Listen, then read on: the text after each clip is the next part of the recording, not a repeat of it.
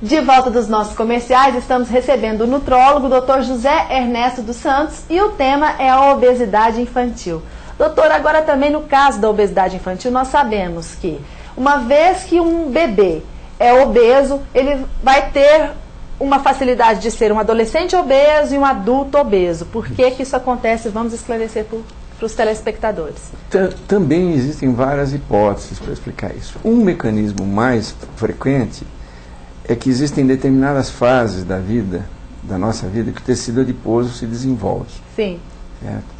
E, e, o meu é eterno, ai meu Deus. Não, não ele já desenvolveu. Não, e, e, por exemplo, uma criança, às vezes, tornando-se obesa em fases bem iniciais, né, a, a, o tecido adiposo fica com muitas células. Que idade é essa que pode ocorrer a multiplicação das células gordurosas? Não se conhece muito bem, mas provavelmente existem várias fases. E também existem influências genéticas na é determinação do número de células.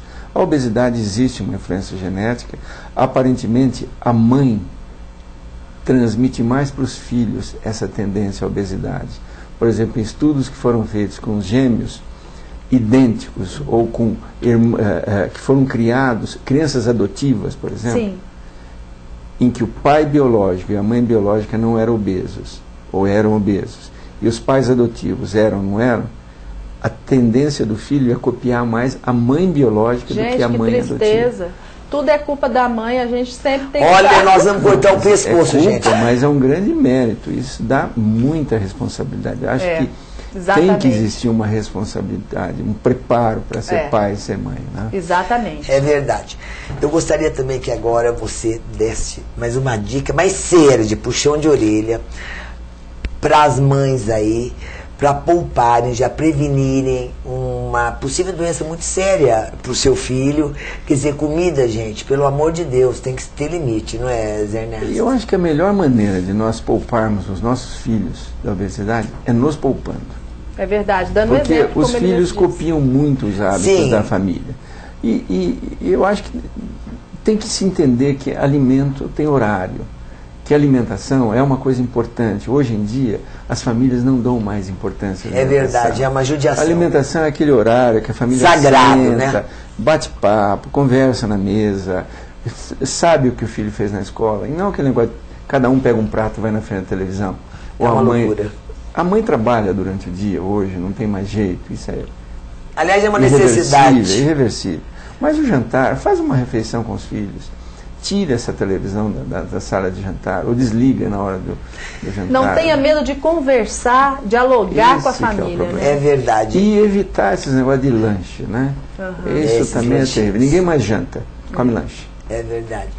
Ernesto, falando sobre isso, eh, sobre lanche, você não acha também que talvez esse consumismo que é inserido 24 horas na, em mídia, em televisão, em relação à alimentação, Claro. Isso não prejudica muito uma criança? A mãe não poderia fazer assim um chuchuzinho com um feijãozinho? Só- Não seria bem melhor do que esses Só condimentos? se os produtores de chuchu fizerem propaganda na televisão. Pois é, mas não Porque, tem como, porque a verdade, gente a que é que- agricultor só leva, né? A hora Não tem- que criança vê televisão é a hora escolhida para os alimentos que vocês Gordurosos. conhecem e introduzirem a propaganda. Não é por acaso que Lógico. aquela, Claro. aquele, aque- aquele tipo de.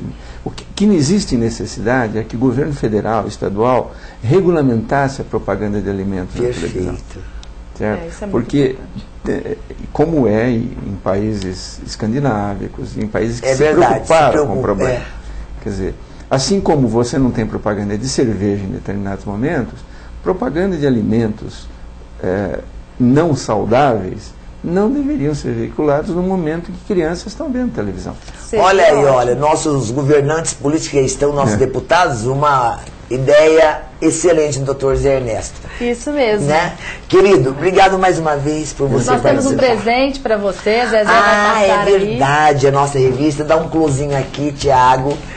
É um lançamento da nossa patrocinadora Fisioforma. Pra você, aliás, vem de conto com a sua ideia, com a sua profissão. Pessoal, beijos e até beijos, mais. Beijos, até mais.